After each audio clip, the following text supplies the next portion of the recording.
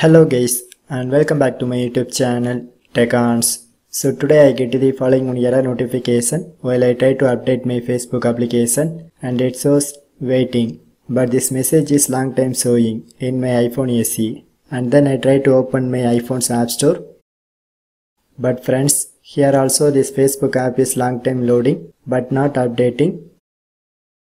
But there is no specific option is available to cancel this updating process then how to fix this issue? So very simple method to fix this issue is just locate that Facebook app icon and long press on it. And then I get the one option called cancel download. So simply press this option.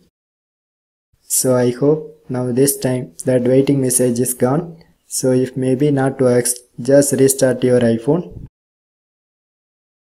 So after the restarting is completed, just open your app store so finally you can see now this time my Facebook app update process is disabled and also that waiting message is gone. So friends if this trick works just leave your one like so otherwise just put your valuable comments.